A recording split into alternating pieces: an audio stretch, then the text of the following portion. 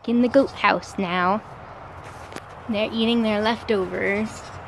There's not much left over. There are a few crumbs. Oh, look who just jumped up next to me. Hello there. Hi, son. Are you gonna eat those crumbs, my love? Ooh, that snoot.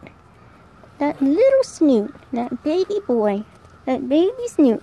Little tiny snoot.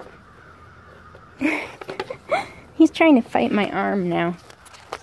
Keith, you're being a little bit, a little bit masculine. Hi, Byron. Byron is here. And Biddy Keith. Oh my!